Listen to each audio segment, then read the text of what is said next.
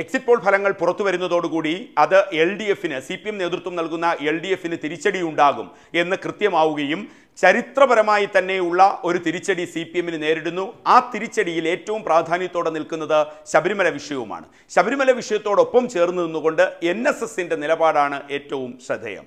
സമാനതകളില്ലാത്ത വിധം ഒരുപക്ഷെ ഇടതുമുന്നണിയെ സി പി എമ്മിനെ ഞെട്ടിക്കുന്ന തരത്തിലേക്കാണ് എൻ എസ് എസിന്റെ ഇടപെടൽ ശബരിമല വിഷയവുമായി ഉണ്ടായിട്ടുള്ളത്. എക്സിറ്റ് പോൾ ഫലങ്ങൾ വരുമ്പോൾ അവിടെ സി പി എമ്മിന് ഇടതുമുന്നണിക്ക് കടുത്ത തിരിച്ചടി കനത്ത തിരിച്ചടി ഉണ്ടാകുമ്പോൾ അത് ശബരിമല വിഷയത്തിലേക്ക് കാരണമാകുമ്പോൾ ആ ശബരിമല വിഷയത്തിലേക്ക് ജനശ്രദ്ധ വളരെ ശക്തമാകുന്ന രീതിയിലേക്ക് ഒരു ക്യാമ്പയിൻ മോഡിലേക്ക് പ്രതിഷേധം ആളിക്കത്തിക്കുന്ന തരത്തിലേക്ക് അതിന് പിന്തുണ നൽകുന്ന നൽകിയത് എൻ എസ് എസ് ആണ്. എൻ എസ് എസിനെ വരുതിയിലാക്കാൻ അന്ന് സി പി എമ്മിനോ എൽ ഡി എഫിനോ സാധിച്ചില്ല.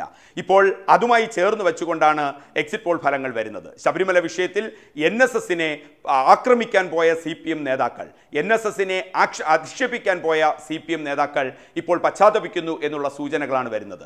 അപ്പോൾ എക്സിറ്റ് പോൾ ഫലങ്ങൾ ചേർന്ന് നിൽക്കുമ്പോൾ അത് യാഥാർത്ഥ്യമാകുമോ എന്ന് മാത്രമാണ് അറിയേണ്ടത്. പക്ഷേ ഏറ്റവും രസകരവും ഇൻഫോർമേറ്റീവുമായിട്ടുള്ളത് എക്സിറ്റ് പോൾ ഫലങ്ങൾ യാഥാർത്ഥ്യമാകുമോ എന്ന് കാത്തിരിക്കുന്നതിന് മുമ്പേ തന്നെ എൻ എസ് എസിനെ സമന്വയിപ്പിക്കുന്നതിന് വേണ്ടി എൻ എസ് എസുമായി സൗഹൃദം കൂടാൻ ഇടതുമുന്നണി നേതാക്കൾ ശ്രമം ആരംഭിച്ചിരിക്കുന്നു. സി പി എം ശ്രമം ആരംഭിച്ചിരിക്കുന്നു.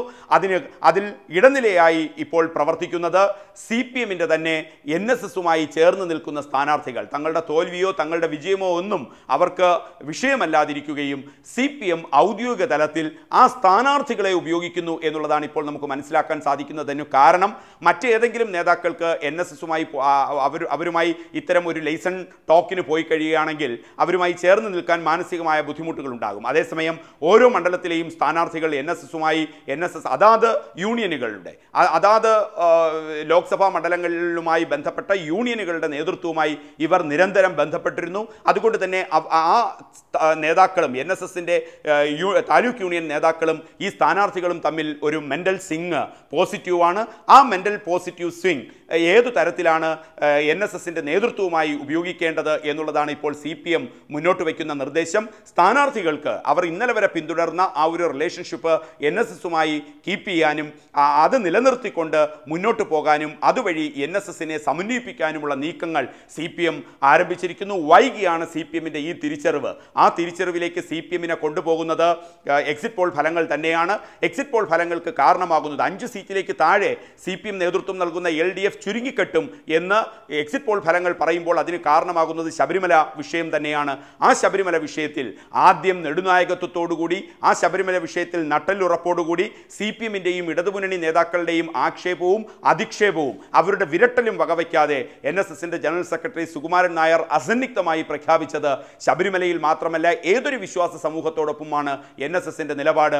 ആ എൻ എസ് എസ് നിരന്തരം മുഖ്യമന്ത്രി പിണറായി വിജയനോട് നേരിട്ടും സി പി എം നേതാക്കളോട് നേരിട്ടും ആവശ്യപ്പെട്ടു ശബരിമലയിൽ ഒരു ഒരു അവിടെ പ്രകോപനപരമായ നിലപാട് സ്വീകരിക്കരുത്. പക്ഷേ സ്വീകരിക്കരുത് എന്നുള്ളത്. പക്ഷേ എൻ എസ് എസിന്റെ നിലപാടുകളെ അവർ മുഖവിലക്കെടുത്തില്ല പ്രകോപനപരമായ നിലപാടുമായി മുന്നോട്ട് പോയപ്പോൾ തന്നെ എൻ പറഞ്ഞു ഇത് നിങ്ങൾക്ക് തിരിച്ചടി ഉണ്ടാക്കും. ആ തിരിച്ചടി ഈ എക്സിറ്റ് പോൾ ഫലങ്ങൾ കാണുന്നത് പോലെയാണോ?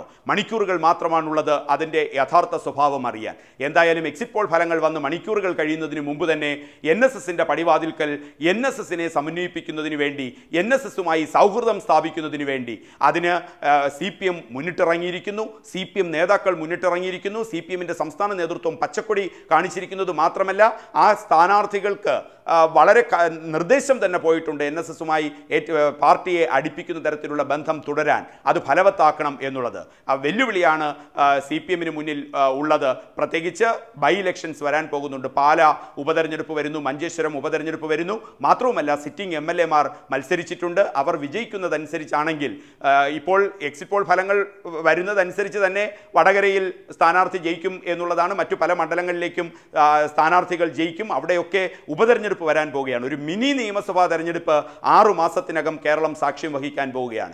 അപ്പോൾ എൻ നിലപാട് തീവ്രമാവുകയാണെങ്കിൽ ആ മിനി നിയമസഭാ തെരഞ്ഞെടുപ്പിലും സി പി എം തറപറ്റുകയാണെങ്കിൽ സി പി എമ്മിന് ഉള്ളിൽ തന്നെ വലിയ വിഷയങ്ങൾക്ക് കാരണമാകും.